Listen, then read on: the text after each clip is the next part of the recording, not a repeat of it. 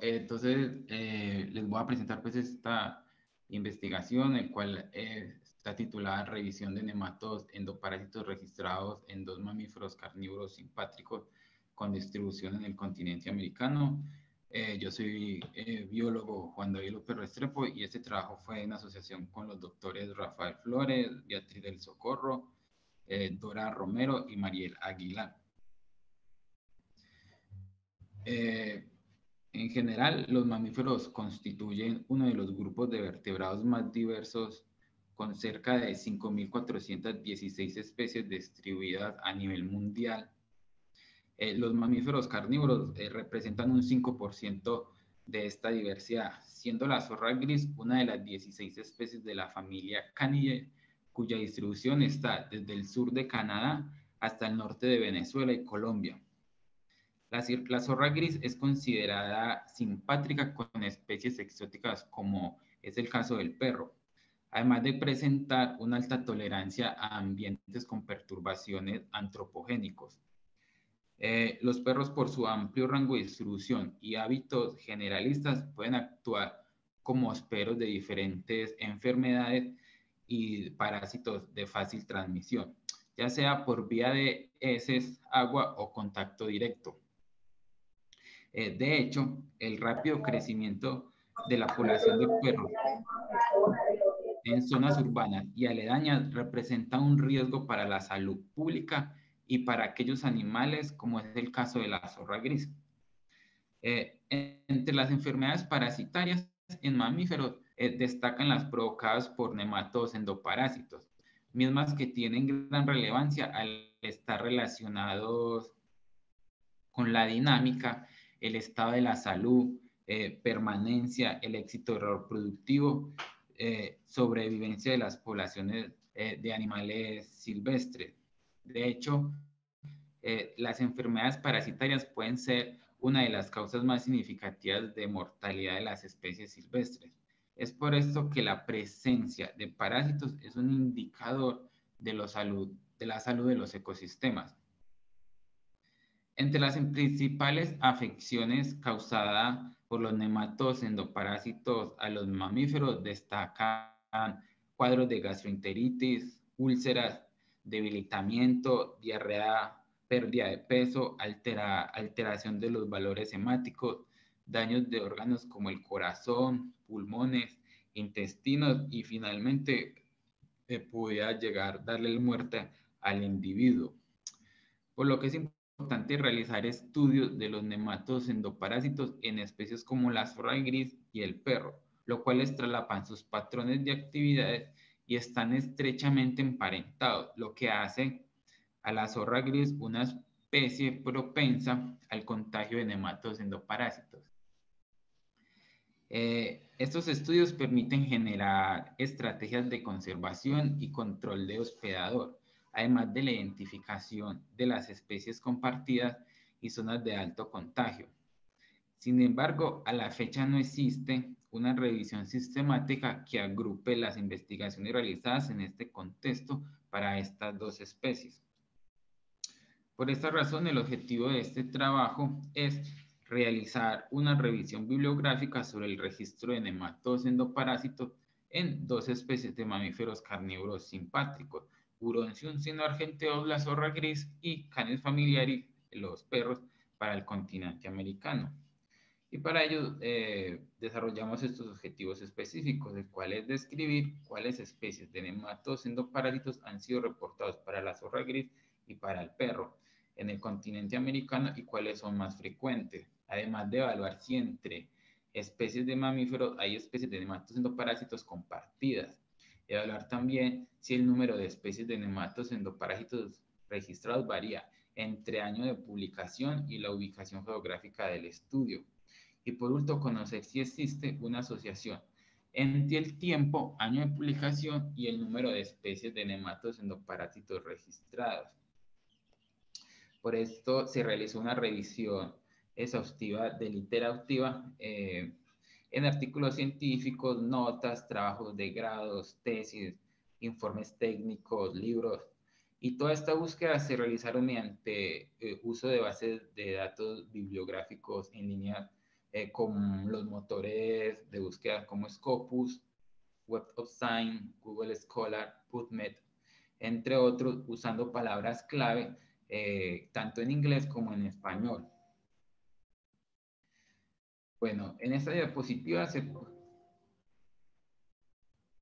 en esta diapositiva se puede observar la lista de especies de nematodos endoparásitos que ha reportado la literatura, encontrándose 32 especies para la zorra gris y 18 para el perro. Encontramos un total de 78 trabajos de nematodos endoparásitos eh, para el continente americano. Eh, para la zorra gris se encontraron 25 trabajos y para el perro 53 trabajos.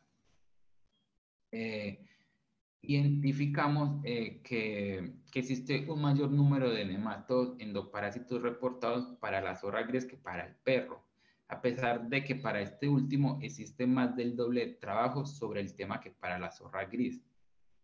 Esto puede verse a que la gran mayoría de estudios sobre perros se concentran en perros domésticos, ya que identificamos que la mayoría de las muestras son tomadas en jornadas de vacunación o de desparasitación, así como en muestras obtenidas de centros de veterinarios. Eh, por lo que es de esperar que esto cuente, estos perros cuenten con esquemas de vacunación y de desparasitación actualizados. Eh, también hay que resaltar que existe un sesgo en los estudios respecto a aquellos eh, perros callejeros o ferales, lo cual puede ocasionar que hasta ahora se ha identificado un menor número de especies comparado con los caños de vida libre. Bueno, eh, pues eh, realizamos también estos diagramas de Pareto para ilustrar las especies de nematodos endoparásitos reportados y su frecuencia, tanto para las zorra como para los perros. En las gráficos se representan las especies de nematodos ordenados de la más frecuente a la menos frecuente. Eh, además, la frecuencia relativa acumulada se observa en la línea punteada de color verde. Eh, para la zorra gris se observa que Anquilostoma canino y Toxocara canin son los parásitos más reportados de los artículos. Y de forma similar para el perro. Los endoparásitos más eh, frecuentes fueron Toxocara canin y Anquilostoma canino. Eh, para determinar las especies de nematodos endoparásitos compartidos entre la zorra gris y el perro, utilizamos el índice de similitudes Sorensen y realizamos un mapa de calor para visualizar este resultado. Eh, el índice de Sorensen obtuvo un valor de 0.55, lo que indica que las especies de nematodos endoparásitos presentes en ambas especies de carnívoros simpátricos son muy similares. Eh, entre las dos especies de carnívoros comparten 14 especies de acuerdo con lo reportado. Bueno, eh, al lado izquierdo eh, se puede observar el mapa de, de, calor que ilustra las especies que se encuentran en común para la zorra gris y para el perro, así como la frecuencia con la que se encontraron en todos los estudios. Los colores más claros indican baja frecuencia y los colores más oscuros una alta frecuencia. Eh, se puede observar que Anquilostoma canino y Toxocara canin son las especies de nematodos endoparásitos que más reportados, que fueron más reportados en todos los estudios para ambas especies de mamíferos carnívoros. Eh, estos parásitos son comunes en miembros de la familia Canidae. Eh, diversos estudios desarrollados en España, Bolivia y Brasil han reportado altas frecuencias de nematodos endoparásitos de los géneros Toxocara, Anquilostoma, Toxascaris y Tricuris. En caninos silvestres como el aguará, el zorro culpeo, el zorro cangrejero, el zorro rojo y el lobo gris. Algunos de estos parásitos pueden contagiar a los seres humanos y los perros facilitan la transmisión de estas enfermedades parasitarias desde animales silvestres hasta el ser humano. Eh, por ejemplo, Anquilostoma canino, cuya larva migra por vía cutánea, cuando los animales están en contacto con suelos contaminados o aquellos nematodos de los géneros Toxocara, Toxocariasis y Trichuris cuyo, huevos y larvas pueden estar presentes en el suelo, agua contaminada, heces y carne. Eh, eh, bueno, estas gráficas abarcan los estudios de nematodos endoparásitos que, que van desde 1978 hasta el 2020. Y se observa que los años 1995 y 2001 fueron donde se registró el mayor número de especies nuevas de nematodos endoparásitos para el perro, con un total de cuatro especies nuevas respectivamente.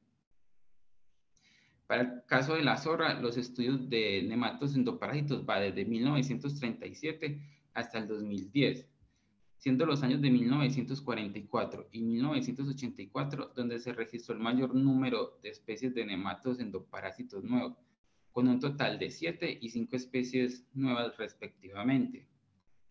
Eh, realizamos también una prueba de chi cuadrado de contingencia para evaluar la asociación entre los años con el número de especies registradas, pero no se encontró una asociación o dependencia en el paso del tiempo en años con el número de especies de nematodos endoparásitos. Eh, con estos resultados evidenciamos una carencia de estudios parasitológicos actuales para las especies silvestres como la zorra gris, la cual es un potencial transmisor de enfermedades zoonóticas. De hecho, los parásitos de los mamíferos son uno de los grupos menos estudiados, con 121 especies hospedadoras estudiadas de 535 registradas. Eh, en los mapas se observan las especies registradas por localidad. Eh, para los perros, donde se encontraron estudios de países como Canadá, Colombia, Costa Rica, Estados Unidos, El Salvador, Guatemala, México, Nicaragua y Venezuela, Colombia, México y Estados Unidos fueron los países con mayor número de nematos endoparásitos reportados. Para el caso de la zorra gris, los estudios se concentraron en Estados Unidos y México, donde el mayor número de nematos endoparásitos reportados fue en Estados Unidos. En México, los estudios parasitológicos para esta especie han sido menores y los principales tópicos de investigación en ambos países se centran en hábitos alimenticios, ecología espacial y evolución. Eh, en países latinoamericanos la inversión para el desarrollo científico es muy baja, hecho que pudiera estar condicionando el registro de nuevas especies de parásitos por falta de investigación. Y también hay que tener presente que existe una falta de información sobre endoparásitos para esta especie en países como Costa Rica, Panamá, Venezuela, Colombia, eh, proyectando una falta de estudios en gran parte de su área de su distribución. Contrariamente para el perro, los estudios que se concentraron en nueve países puede deberse al incremento palautino de las poblaciones de perros en estos países, y con ello las enfermedades zoonóticas y los efectos negativos en la economía que ocasionan un aumento en su estudio. Bueno, el aumento de las poblaciones de zorros salvajes en áreas suburbanas y urbanas, como es el caso de la zorra gris en América, puede actuar como reservorios y amplificadores de los nematodos caninos. Esto es posible gracias a que la zorra gris es una especie bien adaptada a los entornos urbanos y su alimentación oportunista facilita la infección por parásitos gastrointestinales. Por otro lado, la expansión de los perros hacia ambientes naturales también ha contribuido a la diseminación rápida de nematodos, endoparásitos y al riesgo de diseminación de enfermedades zoonóticas, ya que sus excrementos contaminan los cuerpos de agua, el suelo u otros alimentos consumidos eh, por otras especies animales. Los perros representan un serio riesgo para las especies nativas al actuar como reservorio de diversas enfermedades parasitarias, además de que ocupan espacios propios de las especies y peces incrementando con ello sus cargas parasitarias. De hecho, se ha documentado un traslape de los patrones de actividad de cánidos silvestres con la zorra gris y, con los perros, lo cual hace muy posible el intercambio de especies parásitas entre estos dos cánidos. Eh, también hay que tener muy presente que los quistes, los huevos y las larvas en los excrementos pueden sobrevivir en el medio ambiente durante largos periodos de tiempo y estar presente en áreas de uso y de convivencia común, tanto para animales silvestres y domésticos como para el ser humano eh, en lugares de recreación como son los parques y los jardines.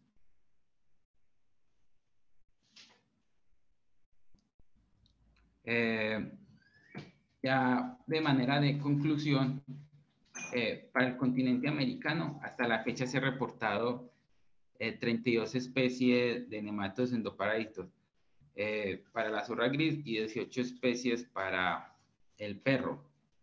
Encontramos que la zorra gris y el perro tienen nematodos endoparásitos similares, lo cual podría ser un indicio de que se pueden compartir al tener áreas de distribución simpátricas siendo por orden de importancia Anquilostoma caninum y Toxocara las más comunes y con un potencial zoonótico.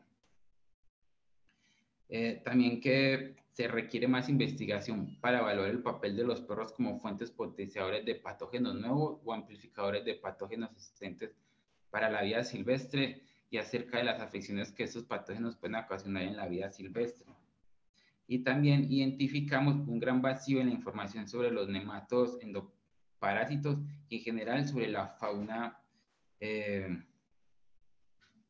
parasitaria para la zorra gris y su función como reservorio o fuentes de brotes de parásitos en gran parte de su distribución. Bueno, finalmente, pues esta es la bibliografía que apoya toda esa información que les acabo de mencionar. Y pues muchas gracias y me disculpan por estos inconvenientes técnicos que tuve. Eh, estoy abierto a todas las inquietudes, preguntas o recomendaciones que tengan.